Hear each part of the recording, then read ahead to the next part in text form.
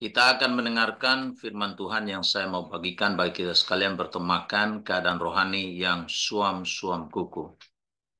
Firman Tuhan berkata dalam Wahyu pasal 3 ayat 14 sampai 22 dan tuliskanlah kepada malaikat jemaat di Ladokia. Inilah firman dari Amin, saksi yang setia dan benar, permulaan dari ciptaan Allah.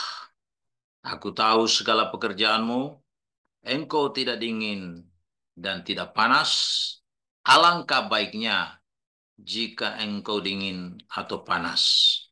Jadi karena engkau suam-suam kuku dan tidak dingin dan tidak panas, aku akan memuntahkan engkau dari mulutku.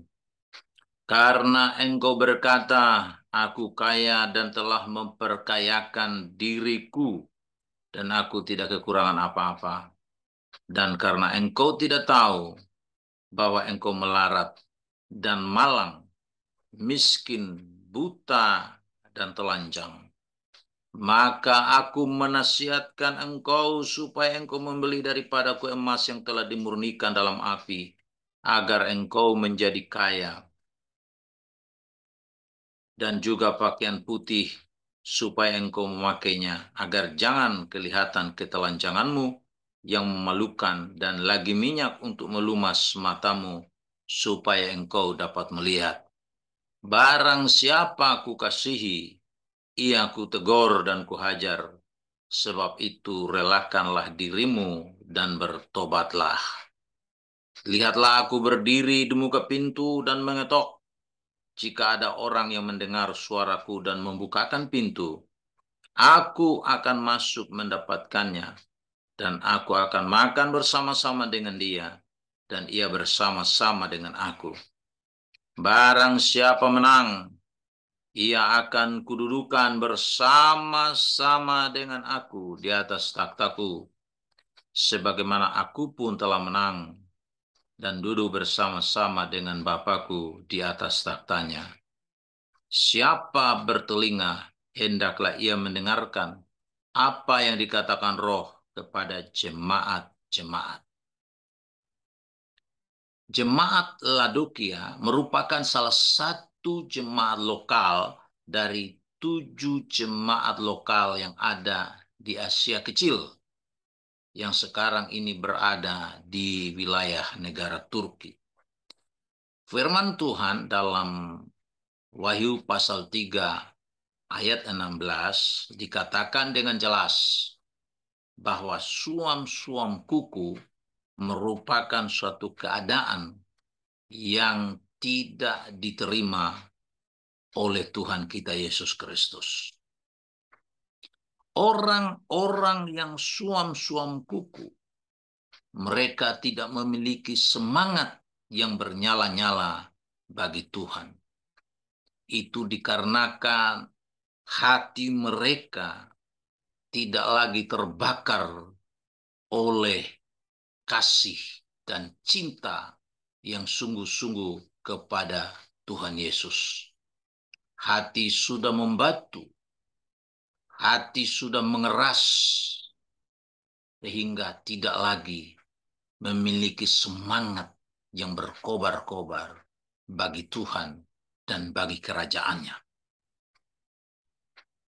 Cara pandang orang-orang yang keadaan rohaninya suam-suam kuku dalam memberikan penilaian terhadap diri mereka sendiri sangat berbeda dengan cara pandang Tuhan bagaimana menilai kehidupan kerohanian dari jemaatnya. Firman Tuhan menyatakan kepada kita bahwa jemaat yang ada di Ladokia ini, mereka memiliki penilaian diri terhadap keadaan mereka sendiri. Mereka menganggap diri mereka makmur secara ekonomi. Mereka menganggap diri mereka sehat secara fisik. Mereka adalah orang-orang yang memiliki segala-galanya. Tetapi firman Tuhan menyatakan Tuhan itu memberikan penilaian yang sangat berbeda dengan mereka dalam menilai diri mereka sendiri.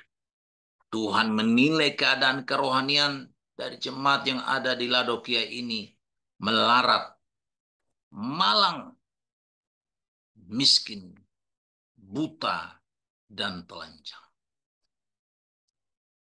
Yang menjadi fokus mereka bukan Tuhan dan firman. Bukan bagaimana cara pandang Tuhan terhadap mereka, terhadap kerohanian mereka. Tetapi mereka justru menilai diri mereka sendiri. Aku kaya dan aku telah memperkayakan diriku sendiri.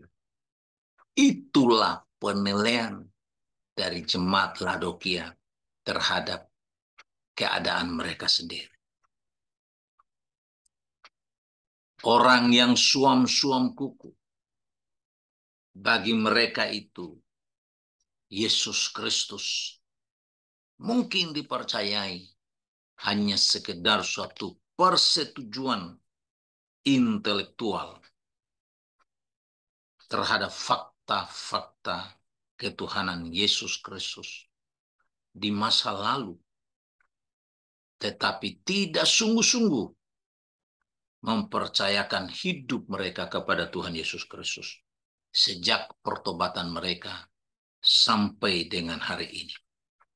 Mereka hanya menyebut Tuhan, Tuhan di mulut mereka, tetapi hati mereka menjauh daripada Tuhan. Yang menjadi Tuhan mereka adalah diri mereka sendiri. Harta benda mereka, uang mereka, dan mereka tidak menjadikan Tuhan sebagai Tuhan atas segala yang dipertuan, Raja atas segala raja. Ini semua disebabkan karena kesombongan diri mereka. Saudaraku yang dikasih dalam Tuhan kita Yesus Kristus. Agar kita terhindar dari keadaan rohani yang suam-suam kuku. Ada beberapa langkah yang perlu kita terapkan pada diri kita sesuai dengan firman Tuhan ini. Pertama, mari kita menerima firman dari Yesus Kristus yang disebut di sini firman dari Amin. Saksi yang setia dan benar. Dialah sang pencipta. Kita harus menerima firmannya dia itu untuk tertulis dalam hati kita. Karena firman Tuhanlah yang berkuasa menyelamatkan jiwa kita. Untuk itu kita perlu memiliki waktu yang khusus. Kita membaca, kita mendengar, kita merenungkan, dan kita menyimak firman Tuhan yang tertulis dalam Alkitab. Dan kita juga harus menyendengkan telinga kita untuk mendengarkan suara roh kudus. Karena firman Tuhan berkata, barang siapa yang bertelinga, hendaklah ia mendengarkan apa yang dikatakan roh kepada jemaat-jemaat. Yang kedua, kita harus terbuka kepada Tuhan yang maha mengetahui segala sesuatu. Karena firman Tuhan mengatakan tadi, aku tahu segala pekerjaanmu. Tidak ada yang tersembunyi di depan mata Tuhan. Semuanya terlanjang. Semuanya terbuka. Dan untuk itu, supaya kita terhindar dari kondisi rohani yang suam-suam kuku, kita perlu membuka diri kita ini kepada Tuhan yang maha mengetahui segala sesuatu, termasuk mengetahui kondisi diri kita, kondisi kerohanian kita, masalah pergumulan yang kita alami. Tuhan tahu. Dan karena itu kita harus belajar untuk terbuka dan menyerahkan semuanya kepada Tuhan. Biar Tuhan yang menjadi Tuhan atas segala yang dipertuan dalam hidup kita. Dia Raja atas segala Raja dalam kehidupan kita. Yang ketiga, mengakui semua yang kita miliki adalah titipan dari Tuhan. Jemaat yang ada di Ladokia menganggap diri mereka sebagai Tuhan atas semua yang mereka miliki. Mereka berpikir bahwa semua itu mereka dapatkan karena usaha dan kerja keras mereka. Memang betul kita harus berusaha, kita harus bekerja keras. Tapi kita harus mengakui bahwa apa yang dikatakan oleh firman Tuhan, kita memperoleh itu semua karena Tuhan memberikan kepada kita kesempatan, Tuhan memberikan kepada kita hikmat, Tuhan memberikan kepada kita kekuatan untuk memperolehnya. Sehingga kita harus mengakui bahwa semua dari Tuhan. Oleh Tuhan dan bagi Tuhanlah kemuliaan sampai selama-lamanya. Saudara yang kasih Tuhan, mari kita mengakui apa yang kita miliki itu merupakan titipan dari Tuhan. Hanya dengan cara itu, kita mengakui ketuhanan Tuhan. Tuhan sebagai Raja atau segala Raja yang dapat menolong kita untuk terhindar dari kesuaman secara rohani. Kemudian yang keempat, memberi diri kita untuk diubah oleh Tuhan. Karena itu firman Tuhan mengatakan, Tuhan suruh kita untuk membeli dari dia apa yang kita butuhkan dalam hidup ini seperti minyak untuk melumas mata kita supaya kita memiliki mata yang terbuka untuk melihat hal-hal yang Tuhan nyatakan dalam kehidupan kita. Tuhan menyuruh kita untuk membeli pakaian putih dari dia supaya dapat menutupi ketelanjangan kita. Jadi kita perlu memberi diri kita untuk Tuhan ubahkan. Dan firman Tuhan juga berkata untuk menghindarkan kita dari kesuaman rohani ini, dari suam-suam koko ini Tuhan katakan supaya kita bertobat seperti yang dikatakan di dalam ayat yang ke-19. Barang siapa aku kasihi, ia aku tegur dan kuhajar. Sebab itu, relakanlah hatimu.